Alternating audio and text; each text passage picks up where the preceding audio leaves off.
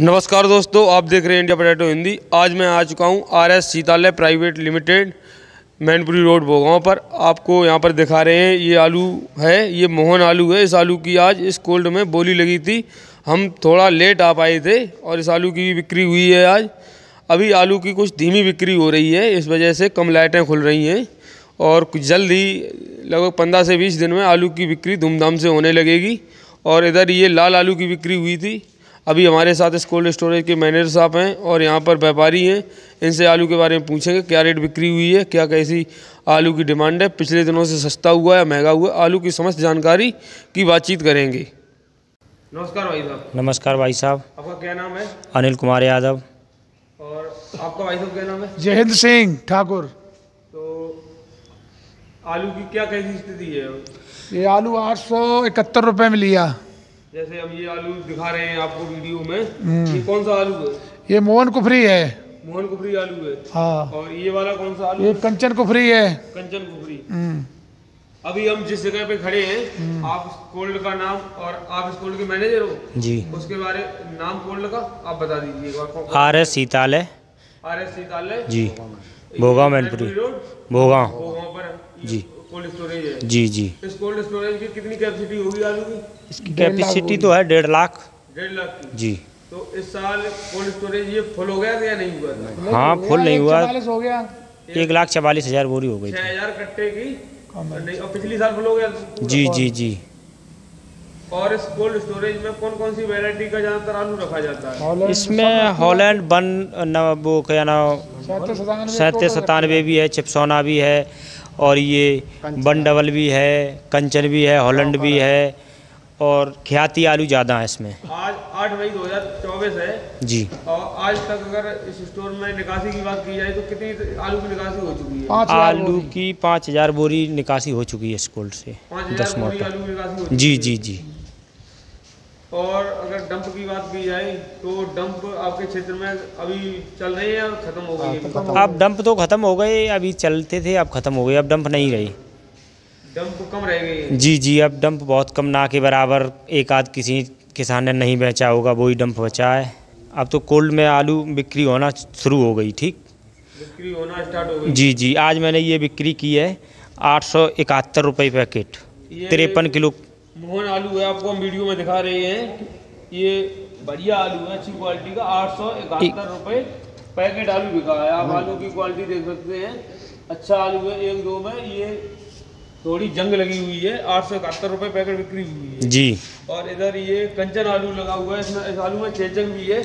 इस आलू की क्या रेट बिक्री हुई है? सात सौ इकहत्तर ये इसमें हंड्रेड परसेंट चेचक है ये सात सौ इकहत्तर रुपये बिका है ये लाल आलू कंचन सात सौ इकहत्तर रुपये पैकेट इसकी R S Sitalay private limited में बिक्री हुई है।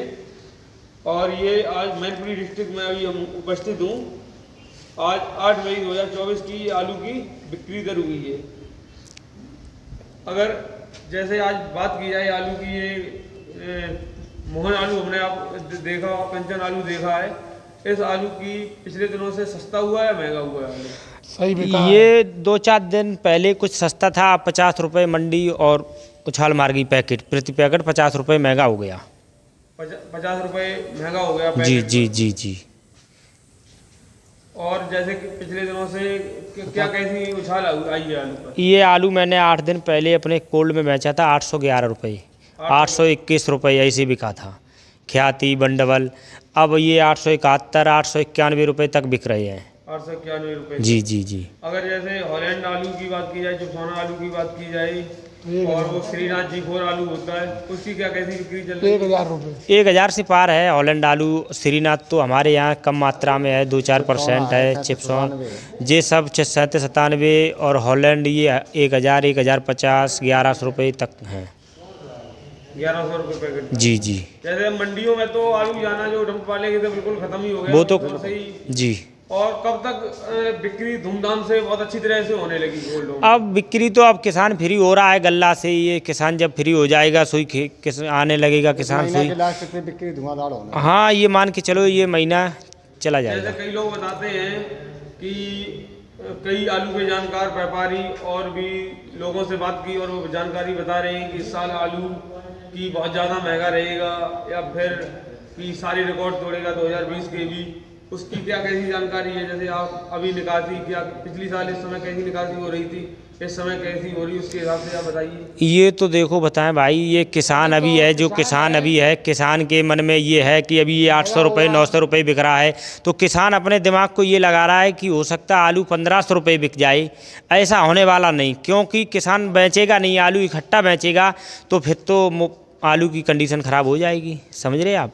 जैसे अगर किसान धीरे धीरे आलू क्रम से निकालता रहे और हर रेट लेता रहे तो आलू की स्थिति सही रहेगी। तो आलू की स्थिति बिल्कुल सही रहेगी। किसान धीरे धीरे निकालता रहेगा तो आलू की स्थिति सही रहेगी और किसान ने रोक दिया तो कंडीशन बिगड़ सकती है समझ गए जैसे पिछली साल से इस साल निकासी कुछ जल्दी हुई है। जी जी। कितने दिन जल्दी पिछली साल अगर मई की बात की जाए तो मई तक निकासी स्टार्ट हो गई थी या नहीं हुई अगली साल मई में नहीं हुई थी जून में। जून में बिक्री हुई थी। जून में हाँ। इस साल जल्दी होने लगी है। डंप खत्म हो गए, आलू। अगली साल डंप ज़्यादा थे। इस बार डंप कम थे, इसलिए अब की बार कोल्डों में जल्दी आलू निकलने लगा। जैसे बताया जा रहा है, और हमने हम वीडियो हमारे मैनपुरी जिला में और फरुखाबाद में, कन्नौज में, और कभी कभी सिरसागंज में भी जाते हैं बनाने के लिए खानपुर मंडी में भी गई हैं कई बार। तो जो हमारे वीडियो देखते हैं दर्शक लोग, जो आगरा, अलीगढ़ क्षेत्र के वो लोग कहते हैं कि आपके क्षेत्र में सस्ता आलू बिकता है उनके यहाँ बता रहे हैं महँगा बिकता है। तो क्वालिटी आलू नहीं है। वो आलू आलू की क्वालिटी होती है। सिरसागंज क्षेत्र में आलू अच्छा होता है वो सैंतीस सतानवे आलू रखते हैं सब। उधर सैंतीस सतानवे आलू अच्छा होता है। हमारे यहाँ मेन कारण है कि हाईब्रिड आलू हाईब्रिड आलू के कारण ये है। जो चिप्स होना है सत्तर सत्तानवे है एक सिंह है उससे कुछ सस्ता रहता है। बिल्कुल रहता है। ये कारण रहता है जी जी जी। आप हमारे चैनल इंडिया पोटैटो हिंदी के माध्यम से जो वीडियो को देखते हैं, दर्शक, पश्चिम बंगाल, उत्तर प्रदेश को। उनको इस चैनल के माध्यम से आप कोई संदेश देना चाहते हो? जो दर्शक, किसान हैं और व्यापारी हैं इनको आप कोई संदेश देना चाहो तो? जी, संदेश देना चाहते हैं। मैं किसान भाइयों से अनुरोध करता हूँ कि अपना आलू समय से बेचते रहें धीरे धीरे बेचते रहेंगे तो फ़ायदा रहेगा किसान भाइयों को। जैसे किसी के 500 पैकेट पड़े हैं तो 100 बेच ले, फिर 100 बेच ले धीरे धीरे बेच लें तो उसमें किसान को लाभ रहेगा। हमारे साथ ये व्यापारी भाई हैं इनसे आलू के बारे में बात करेंगे हम्म, बताओ साहब नमस्कार भाई साहब। नमस्कार। जैसे आप आलू खरीदते हो जी। अभी आलू की मंडियों में डिमांड कैसी क्या है? वही है अठारह उन्नीस सौ रुपये कुंटल की।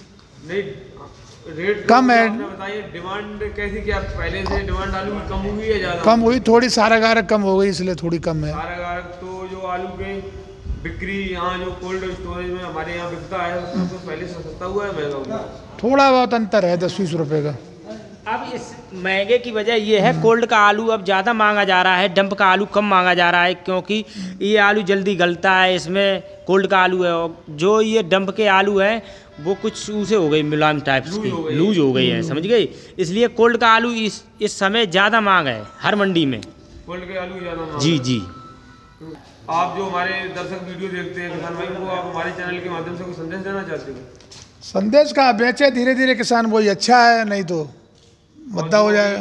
किसानों को आलू के रेट मिल रहे हैं। हाँ बढ़िया रेट मिल रहे। किसानों को लागत के माध्यम से मेहनत उसको हिसाब से कैसे मिल रहे हैं सही मिल रहे हैं। बढ़िया मिल रहे उसे आधे आधे का मिल रहा है। पाँच सौ का आलू है हज़ार बिक रहा है तो थोड़ा है। दूने के पहुँच गया किसान। आपका हमारे चैनल इंडिया पोटैटो हिंदी से बात करने के लिए बहुत बहुत धन्यवाद। आपका दिन सुबह जय जवान जय किसान। जय।